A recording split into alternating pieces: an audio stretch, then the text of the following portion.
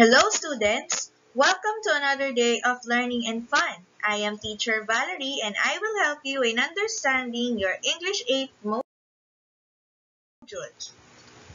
But before we start the lesson, let's have a short drill regarding our topic last time.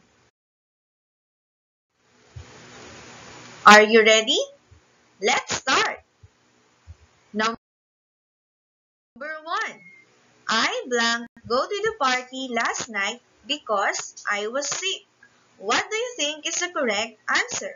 Is it cannot or could not? Correct. The answer is could not. Let's have number two. My sister blank swim last year, but now she cannot. What do you think is the correct answer? Is it might not or could?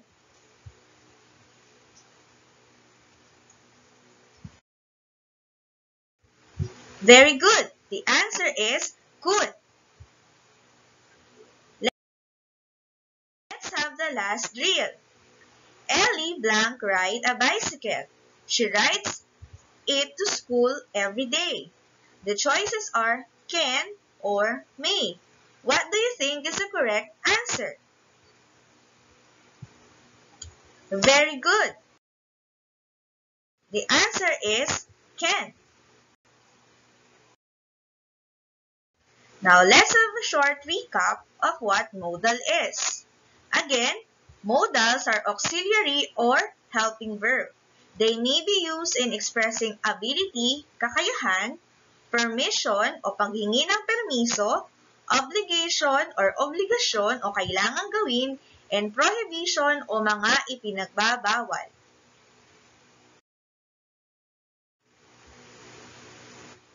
Now, here are the different functions of the following modal verbs. Shall, should, and ought to. We use the modal shall if we would like to offer assistance or polite suggestion. We use this if we are sure of a positive answer. The format is shall plus the subject plus the base form of the verb. Example, shall we go for a walk? Here, you are expecting that the answer will be yes. That is why you use the modal shall. Next, we have the modal should. Should can also be used in offering assistance or a polite suggestion. But we use the modal should if we are not that sure to get a positive answer. Example, should I call a doctor? So here, the answer may be yes or maybe, maybe no. That is why we use the modal should. Next, should and should not can also be used in expressing a prediction or expectation about something that will happen. Example, the proposal should be finished on time, meaning to say the speaker is expecting that the proposal will be finished on time. Second example, I shouldn't be late. The train usually arrives on time. The speaker here is expecting or predicting that he should not be late because the train usually arrives on time.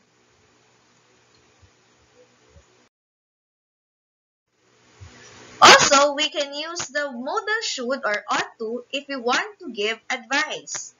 Example, you should check that document before you send it out.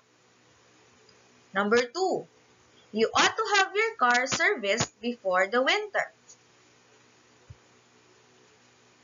Here, you are offering an advice to someone.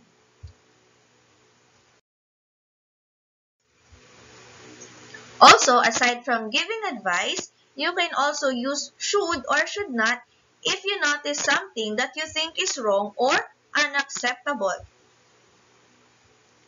We use the word should not plus the base form of the verb. Example, James should not teach him words like those.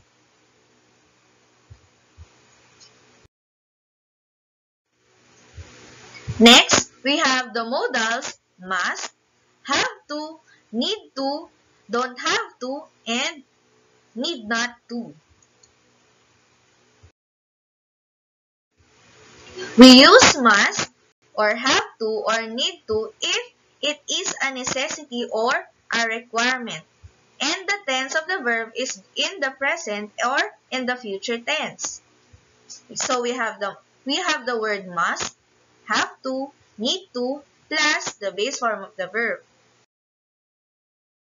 Example, you must have a passport to cross the border. Here, there is a need for you to have a passport. It is a necessity or a requirement. That is why you use the modal must. Next, Elizabeth has to apply for her visa by March 10. The third, I need to drop by his room to pick up a book.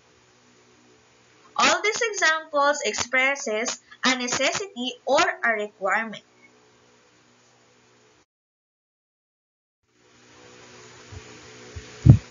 If the tense of the verb is in the past tense, we use the modals had to or needed to plus the base form of the verb.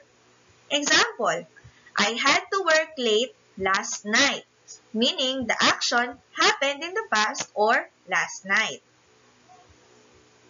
Second example, I needed to drink a few cups of coffee in order to stay awake, meaning to say the action happened in the past. That is why we use the verb needed to. And since it is a necessity or a requirement, it is also a modal. Next, we use the modal must if we are 100% certain of a certain thing.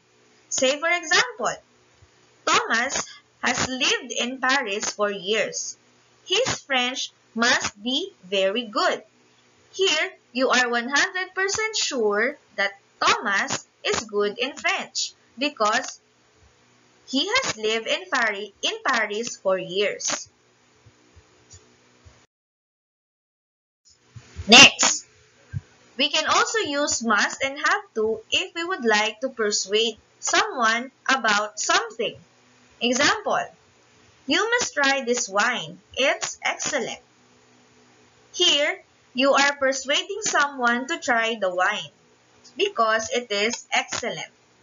Number two, you have to visit us while you are in town. You are encouraging someone to visit you. That is why you use the modal must and have to.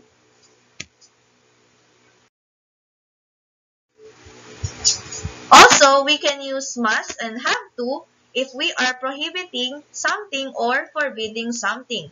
We just need to add the word not.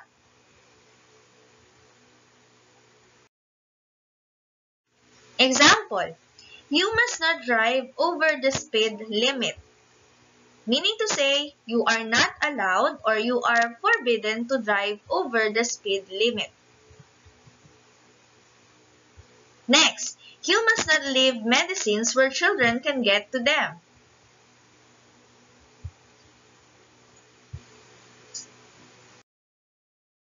Next, will and would. We use these modals if we are requesting politely or stating a statement in a polite manner. The format is will or would plus the base form of the verb. Example, Will you please take the trash out? Here, you are politely requesting someone to take the trash out. Next, would you mind if I sat here? Here, you are requesting or stating a statement asking if it is alright for you to sit beside him or her.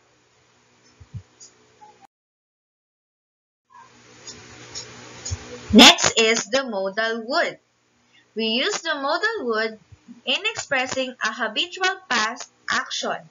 The format is would or would not plus the base form of the verb.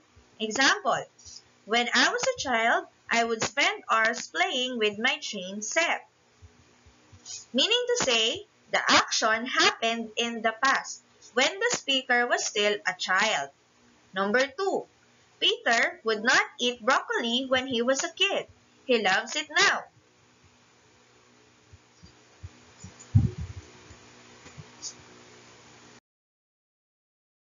And that's it. We are done with modals. I hope you learned something from me. If you have any questions or queries, do not hesitate to message me, Teacher Valerie, or your English teachers. That's all. Have a nice day.